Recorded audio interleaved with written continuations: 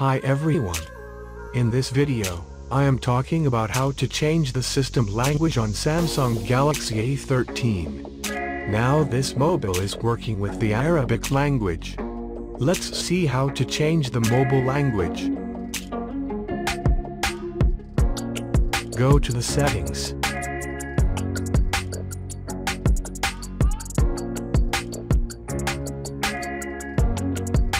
Now click on display icon. Scroll down, now click here.